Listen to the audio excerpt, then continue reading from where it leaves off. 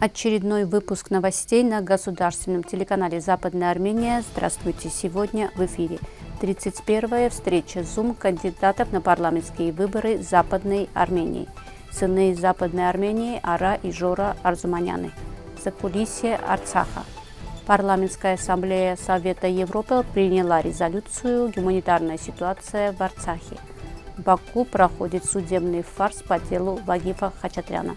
Арцах Карьер Экспо, площадка поиска работы для вынужденных переселенцев из Арцаха, объединит ряд компаний. Армянский исторический ток превращается в азербайджано-албанский заповедник Тук. 12 октября состоялась 31-я встреча Zoom, организованная избирательной комиссией Национального собрания Западной Армении. Тема встречи – ситуация в Западной Армении, Арцахе. Во время встречи президент Западной Армении Арменак Абрамян представил подробности и последствия трагических событий в результате очередной агрессии Баку в провинции Западной Армении Арцахе, обсудив с участниками, как будут организованы дальнейшие выборы сыны Западной Армении Ара и Жора Арзуманяны. Жора и Арам Арзуманяны погибли 7 ноября 2020 года в Шуши. Братья служили во внутренних войсках полиции. Жили в поселке Аралес общины Веды Араратской области. Началась война. Братья отправились на передовую, с первых же дней были в Карвачаре, сказав семье, что находится в Артенисе. Только после гибели сыновей мама Анаит Арзуманян узнала, что сыновья сражались в Шуши. Последний раз ребята разговаривали с семьей утром 7 ноября. Говорили очень коротко, сказав, что все в порядке. В дальнейшем супруга Жора Лилит узнала, что Арам и Жора были в осаде. После гибели мужа Лилит поступила на службу во внутренние войска полиции.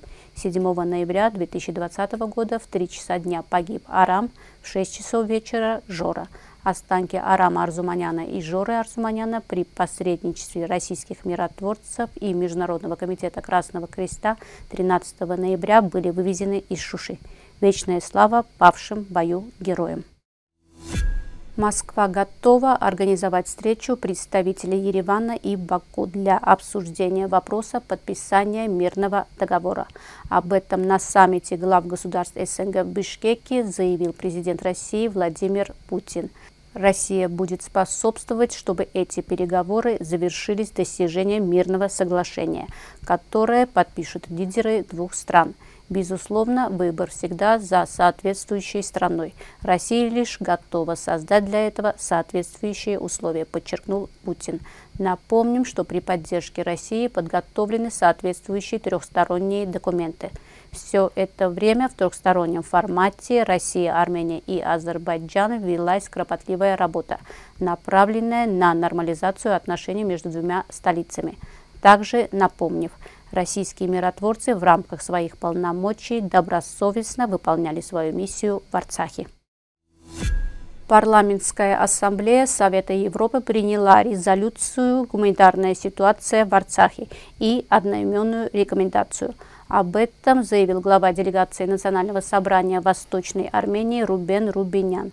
В резолюции осуждаются военные действия Баку против Арцаха 19 сентября 2023 года – Ассамблея фиксирует, что почти все население Арцаха покинуло свою родину из-за угрозы физического уничтожения и давней антиармянской политики правительства Баку.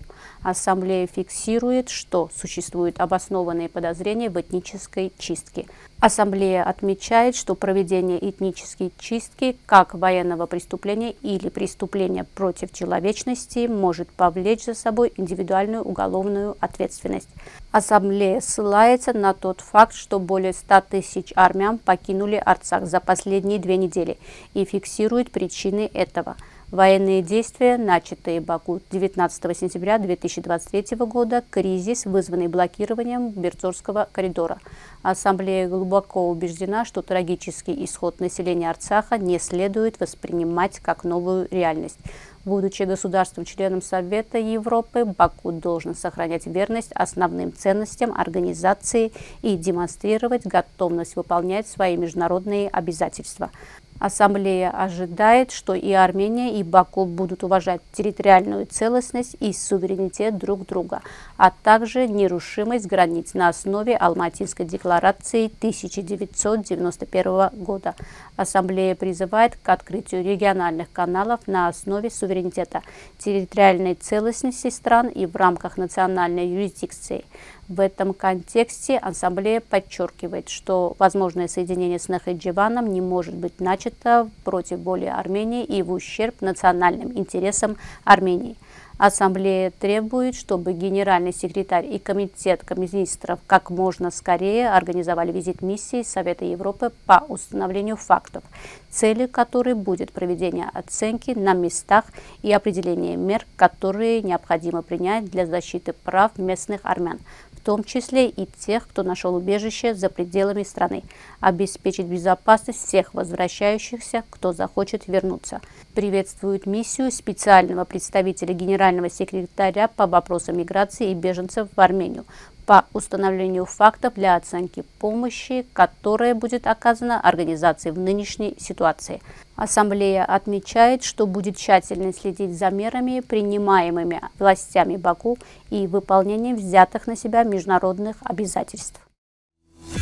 В Баку проходит судебный фарс по делу Вагифа Хачатряна, похищенного азербайджанцами в Бердзорском коридоре летом текущего года – Дело находится в производстве судьи Бакинского военного суда Джамала Рамазанова. Рейтер отмечает, что по сфабрикованному делу потерпевшими приходят 59 человек. Будут уточнены также личные данные пострадавших. Хачатрян был похищен в конце июля на КПП в Бердзовском коридоре, непосредственно из машины Красного Креста. Генпрокуратура Баку заявила, что Хачатряну было предъявлено обвинение еще в 2013 году. Его объявили в международный розыск. Баку приписал арцахцу ряд тяжких преступлений, в том числе за вооруженное нападение на село Мешали в 1991 году, в результате которого погибли 25 азербайджанцев. Степанакерт назвал азербайджанские обвинения ложными, заявив, в селе Мешали такого преступления не было. Ярмарка вакансий «Арцах Карьер Экспо», которая пройдет 31 октября в бизнес-центре «Элит Плаза», предоставит вынужденным переселенцам из Арцаха возможность найти работу в ведущих компаниях Армении – Различные компании представят свои вакансии и ознакомят с деятельностью компании. Есть более 25 организаций работодателей из самых разных отраслей – IT-компании, платформы сферы услуг, операторы мобильной связи. Есть и отдельная образовательная часть. В рамках выставки также будут приглашены спикеры, которые проведут мастер-классы, помогут людям составить правильные резюме, подать документы в соответствующие учреждения – Наша главная цель – арцахские армяне, но мероприятие открытое и бесплатное. Оно не коммерческое, мероприятие проводится с благотворительной целью. В октябре 2023 года на официальном сайте главы Баку Ильхама Алиева был размещен приказ объявить историческую территорию села То государственным историко-архитектурным и природным заповедником ТУК. В качестве основы для создания заповедника отмечается, что ТУК является одним из исторических поселений, демонстрирующих историческое прошлое азербайджанского народа.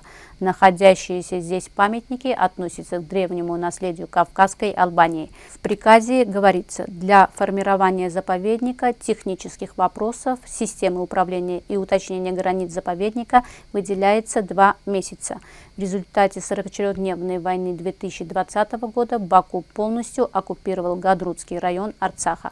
Под контролем Баку оказались исторические населенные пункты Гадрутского района и сотни разнообразных памятников, крепости и замки, церкви, монастыри, часовни, святыни, особняки, исторические населенные пункты. Гадрутский район с древними поселениями и памятниками является одним из важнейших очагов армянской идентичности – ТОК центром власти и милекства Дизака, одним из исторических, политических, культурных очагов Арцаха.